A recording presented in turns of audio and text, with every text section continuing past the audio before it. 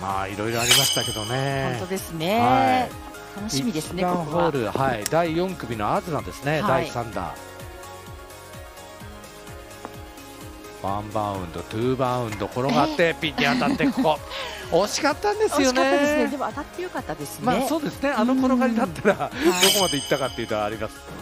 で2番は第11組の上田桃子セカンドショット池越え。ぴったりですよね。はい。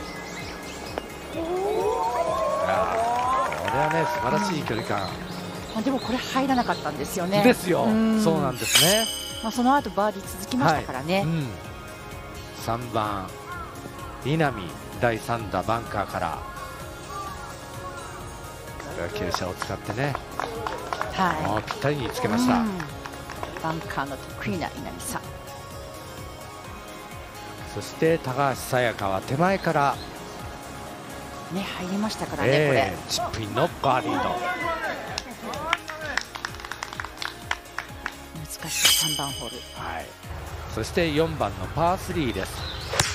佐藤ですね、ね、今日頑張りましたよね、はい、まあ選考会、サンデートーナメントトップ通過の佐藤靖子、ね、2年ぶりのレギュラーツアー参戦、はい、見事なショット、これ先頭歩いてますからね、はい、そして5番、イ・ミニョンです、セカンドショット。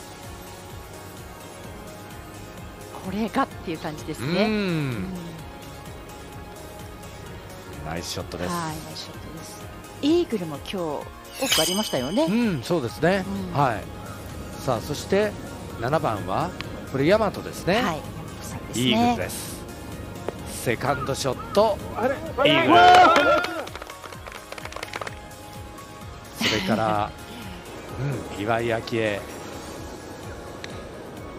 これはイーグルではなかったですけど、はい、ぴったりでしたね。うん、はい、もうほとんどイーグルに近いという形でした。2.5ぐらいですか。ですね。そして16番大井で